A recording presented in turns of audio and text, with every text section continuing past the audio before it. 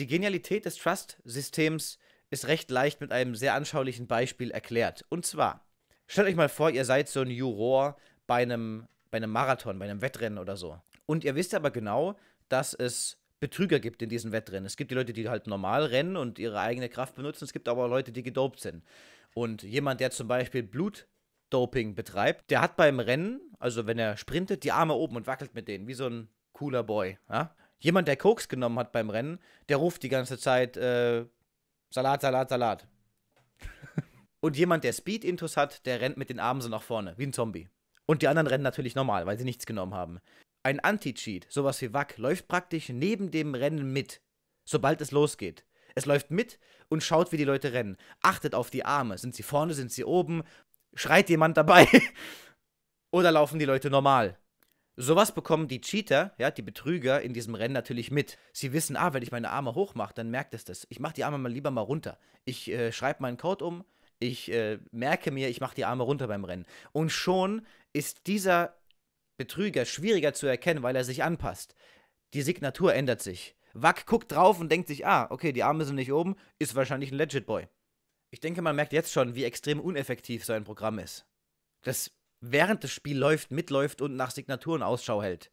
Vor allem, wenn es halt jetzt auch nicht irgendwie auf dem aktuellsten Stand ist und so weiter. Aber selbst dann, also wenn dieses Programm, das mitläuft, äh, alles kennt, was es jetzt bis heute gibt, bis zu diesem Zeitpunkt, selbst dann wird es Menschen geben, die was Neues finden. Und dann sind wieder Cheats im Umlauf, die funktionieren. Sowas ist nie wirklich ultra effektiv. Von Wacknet möchte ich jetzt erstmal an der Stelle nicht anfangen, weil es ähm, etwas komplizierter ist. So, das ist Wack.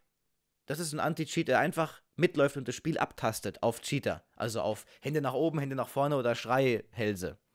Der Trust-Faktor, der bittet die Leute, bevor sie überhaupt ins Spiel gehen, mal eben zu sich her, ja, die müssen mal vom Spielfeld runter, dann wird ein Bluttest gemacht und geguckt, ob sie was Intus haben, ob man ihnen vertrauen kann, kann man diesen Leuten trusten, sind das vertrauenswürdige Menschen. Wenn da Leute dabei sind, bei denen dann was festgestellt wurde, das übertrage ich jetzt komplett aufs Spiel, dann dürfen die nur mit anderen rennen, die auch festgestellte Substanzen in sich tragen. Und alle anderen dürfen unter sich bleiben. Also die normalen Spieler, die nicht gedopt sind, die dürfen zusammen ihr Wettrennen machen und sich danach anfassen oder so. Genau so funktioniert ein Trust-System. Sowas kann extrem effektiv sein und damals wurde der Weg geebnet. Aber es wurde so scheiße aufgenommen, äh, ja, dass es, wenn es verbessert wird, wahrscheinlich maximal halt im Hintergrund verbessert wird. Wenn die mit der Verbesserung kommen mit dem Update für Trust, dann sagen alle, was, Trust? Ich will 128 Tick! Oder so. Das haben wir einfach wieder verschissen. Deswegen ist der Steam-Account bei Trust so unglaublich wichtig. Ich weiß, dass sich dazu Valve etwas bedeckt gehalten hat. Sie haben es nur angedeutet, dass der Steam-Account sehr wichtig ist. Aber logischerweise kann man nicht alle Punkte einfach so auflegen als Firma und sagen, übrigens, das sind die Punkte, die ihr manipulieren müsst und schon könnt ihr mit allen anderen zusammenspielen. Sowas muss logischerweise geheim gehalten werden oder unter Verschluss, wie auch immer. Aber ich denke, alleine schon aus meinem Beispiel heraus versteht man, warum die Stats in CSGO zum Beispiel auch nicht allzu wichtig sind, weil solche Sachen kann man sehr, sehr einfach faken. Man kann die Spielstunden sehr leicht faken, man kann den Rank unglaublich leicht faken, man kann die gewonnenen Spiele faken, selbst die Bewertung und so weiter kann man faken. Für alle diese Fakes bzw. Boosts, wie sie auch genannt werden, kann man oder muss man ab und an Geld bezahlen. Um irgendein Beispiel zu nennen, Boosting Games. Waren eine ganz lange Zeit sehr groß im Kommen. Ich weiß nicht, ob das immer noch so aktuell ist, aber damit konnte man seinen Rank dann down oder up boosten lassen. Du konntest praktisch deinen Traumrank einfach bekommen. CSGO hat an sich zu wenig Variablen, um einen guten Trust-Faktor erstellen zu können, weil man alle Variablen in CSGO selbst zu leicht faken kann. Wenn man dann aber wiederum Steam nimmt und Steam als ähm, Blutbild oder Körper der User veranschaulicht, da kann man dann viel, viel mehr machen. Um ein Extrembeispiel zu nennen, jeder Blinde könnte wahrscheinlich sagen, dass ein Account, wie jetzt zum Beispiel meiner, der schon äh, 100 Millionen Jahre alt ist und halt einfach bombig dasteht, dass der am besten nicht mit einem Account zusammenspielen sollte, der sich Counter-Strike und den Account gestern erstellt hat. Und das macht Trust. Genau diesen Punkt macht Trust. Also Trust sagt, wow, der eine ist aber nicht wirklich trustworthy. Möglicherweise ein Cheater oder ein Smurfer. Lieber nicht zusammenführen. Da fällt mir übrigens was ein, was ich gar nicht im Kopf hatte. Die ESL-Liga hatte früher auch sowas, und zwar die ESL Player Card. Wenn du Trusted Games haben wolltest, wenn du auf einen gewissen Trust-Faktor wolltest, musstest du eine ESL Player Card beantragen. Dafür hast du dann deinen Personalausweis abfotografieren müssen, ihn schicken müssen und dann noch ein bisschen Geld hinterher schicken müssen und dann hast du eine Player Card bekommen. Die war auch für Events und so ein Schotter, aber mit dieser Karte warst du trusted. Und der Sinn dahinter war folgender: Sobald ein Trusted Spieler ähm, gecheatet hat, dann wurde er als Mensch gebannt weil die ESL seinen Namen hat, also seine gesamten Daten. Dann hieß es, alles klar, Hans-Peter Jürgen, du hast gecheatet, du kannst als Mensch nicht mehr bei uns spielen. Das ist der Gedanke hinter Trust. Valve ist halt so, dass sie überhaupt nicht auf deine privaten Daten zugreifen wollen. Ja, sie haben ja schon öfter gesagt, solche Programme, die, äh, solche externen Programme, wie sie auch gewisse CSGO-Liga-Seiten haben, sowas möchten sie nicht, weil sie nicht auf den PC der User so sehr zugreifen wollen, um eben Privatsphäre zu sichern und bla bla bla, was ja an sich auch ein edles Ziel ist. Und wie gesagt, über Steam kann man sehr, sehr guten Trust-System aufbauen. Das ganze System hat leider einen riesigen Nachteil und zwar sind neue User angeschissen. Also neue User, die nicht smurfen, die nicht cheaten, die sich heute einen Steam-Account machen und sich Counter-Strike holen, die werden höchstwahrscheinlich erstmal eine schlechte Zeit haben. Aber ich kann euch sagen, wenn ihr ein bisschen an eurem Steam-Account arbeitet, dann wird es. Ich werde euch hier auch nochmal meinen äh, Trust Factor Video verlinken, wobei ich glaube ich bald auch nochmal ein neues mache, um dann nochmal etwas genauer darauf einzugehen. Das war direkt nach dem Update, da habe ich selbst noch nicht alle Fakten und Daten im Kopf gehabt oder eben Theorien. Mittlerweile gibt es so unglaublich viele bestätigte Tests, die immer wieder bestätigen, dass der Steam-Account der ausschlaggebende Punkt im Trust-System ist dass Spielstunden und so weiter in CSGO selbst nicht so wichtig sind wie dein Steam-Account. Also wie alt er ist, wie viele Spiele du darauf hast, wie viele Stunden du diese anderen Spiele schon gespielt hast und so weiter und so fort. Es gibt in Steam so unglaublich viele Variablen, dass es dann für einen Cheater, der einen hohen Trust erkaufen möchte, sehr teuer wird. Ja? Ich meine, versuch mal einen Steam-Account zu kaufen, der 300 Spiele hat und insgesamt vielleicht 40.000 Spielstunden. Und 50 Artworks und 80 Trilliarden Gruppen. Ihr wisst, worauf ich hinaus will. Es gibt zig Variablen, die bestimmen können, wie gut dein Trust-Faktor ist. Und alle diese Variablen wären viel zu teuer für einen Cheater, sich die äh, finanziell verändern zu lassen.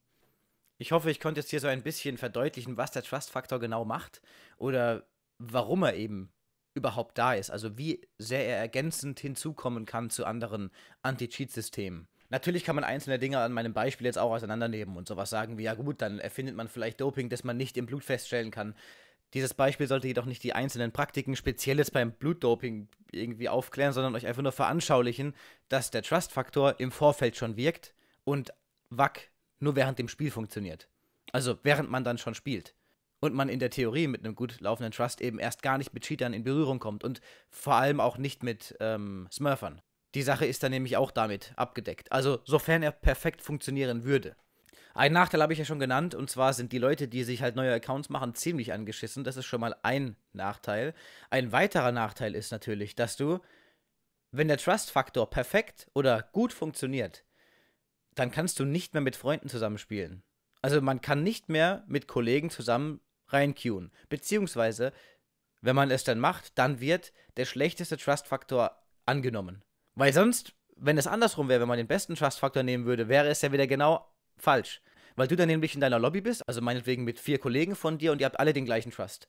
Und gegenüber im Team sind vier Leute mit gutem Trust und ein Cheater. Aber das ist ein Kumpel von den Leuten. Und das Trust-Faktor-System sagt, scheiß drauf. Der hat zwar so einen schlechten Trust-Faktor, aber wir nehmen ja den besten. Somit wäre das sofort auseinandergehebelt.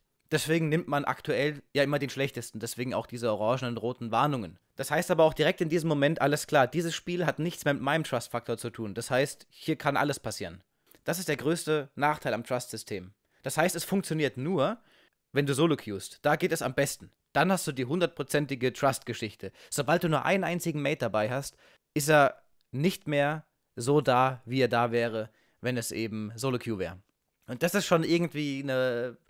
Ja, das ist irgendwie blöd. Also man könnte, um jetzt irgendein Lösungsbeispiel zu nennen, wobei ich hier keine Lösung eigentlich parat habe, aber die ist mir jetzt halt, die liegt ja auf der Hand, man könnte die Trust-Faktor-Level anzeigen lassen, in Counter-Strike oder meinetwegen in Steam direkt und ähm, könnte dann sagen, ja gut, so wie mit den Rängen, dass Trust-Faktor äh, Unterschied 1 noch zusammen spielen kann oder meinetwegen Unterschied 2, die können noch zusammen spielen, aber alles andere nicht damit man zumindest eine Übersicht hat, mit wem man halt circa spielen kann. Das war damals auch schon die Diskussion, als der Trust Factor rauskam. Da haben viele dann kommentiert, oh nein, jetzt muss ich ja meine Kumpels aus meiner Freundesliste rausschmeißen, weil viele von denen halt überhaupt keinen Trust Factor haben wahrscheinlich, ne, weil sie so einen schlecht ausgebauten Steam-Account haben. Viele beklagen sich ja auch immer wegen den Stunden, ne, dass sie gegen Leute spielen, die nur 300 Stunden haben, nur 400 Stunden. Da will ich nur noch äh, winzige Anmerkungen dazu sagen. Ihr müsst immer bedenken, dass man mit unter 100 Stunden easy auf ähm, LE sein kann. Bei mir war es der Fall. Ich war mit unter 100 Stunden auf LE.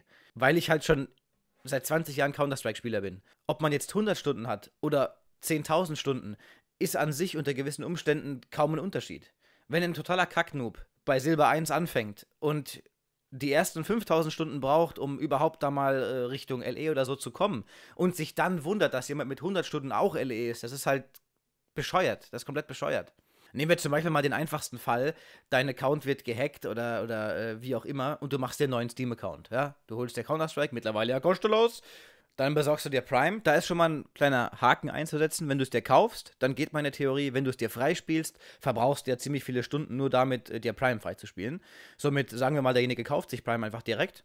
So, und dann wird er nach wie vielen Spielen eingerankt? Nach 10 Spielen?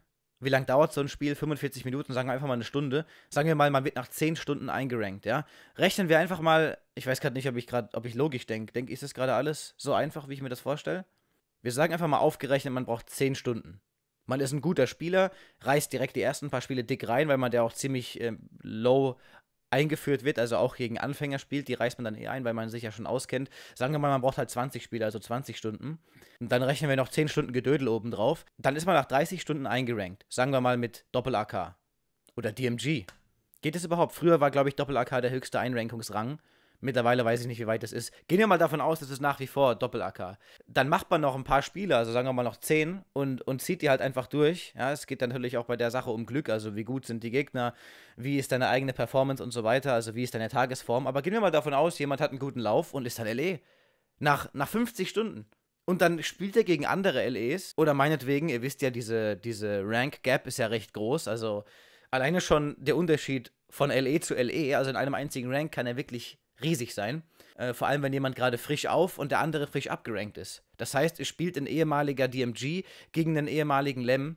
Und vielleicht hat der DMG zu diesem Tag noch Pech und einen schlechten Tag. Der ehemalige Lem einen sehr guten Tag. Und schon reißt dieser, dieser LE den anderen LE ein. Und das heißt, ah, der cheatet oder es heißt Skillfaker und bla bla bla, also Smurf. Diese ganzen Variablen werden einfach nie bedacht. Ich weiß gerade gar nicht, warum ich schon wieder dahin abweich. Ähm, worauf wollte ich jetzt überhaupt hinaus? Fuck a doodle.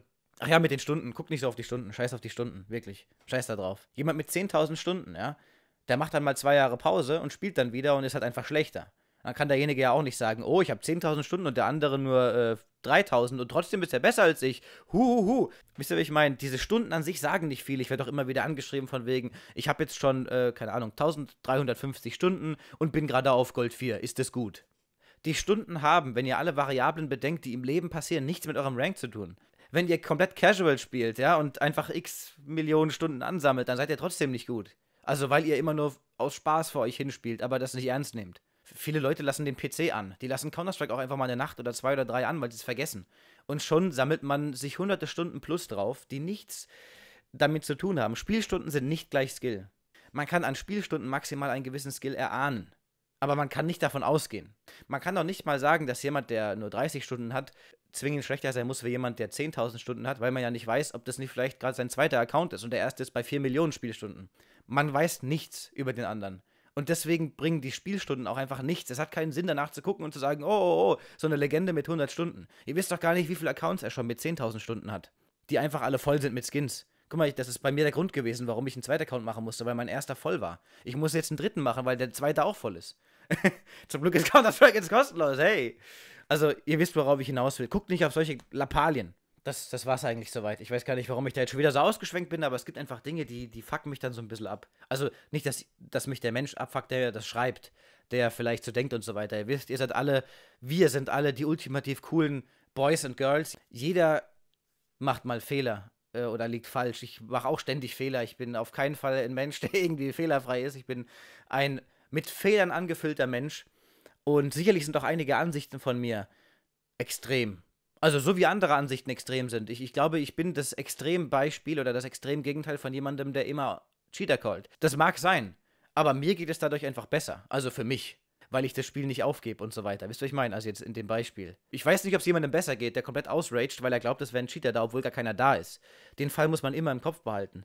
Warum sollte man sich aufregen über was, was überhaupt nicht vorhanden ist? Äh, das ist auch egal. Vielen, vielen Dank für eure Aufmerksamkeit. Der absolute Hammer. Ich werde jetzt die Tage noch ähm, ein kleines Tipp-Video machen mit Dingen, die mir aufgefallen sind zu, wie heißt das, Dark Zone? Der Battle Royale-Modus halt in CSGO.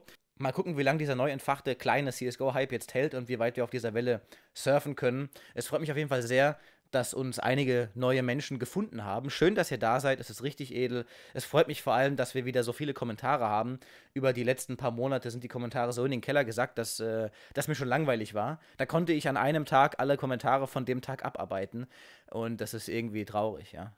Also es ist wirklich geil, wenn ich sehe, 200 unbeantwortete Kommentare sind vor mir. Natürlich ist es auch Arbeit, aber ich weiß, dass ich 200 Leute na gut, vielleicht sind es von mehreren Videos Doppelkommentare. Sagen wir mal, dass sich äh, 100 Leute oder 130 Leute, 150 Leute die Mühe gemacht haben und auch was ausgespeichert haben aus ihrem Kopf und mir geschrieben haben. Das freut mich einfach. Vielen, vielen Dank dafür. Heute Abend ist Livestream ab 18 Uhr. Ich hoffe, ich sehe euch. Da speichere ich live aus und ihr könnt auch live dabei sein, mitspielen und so weiter und so fort.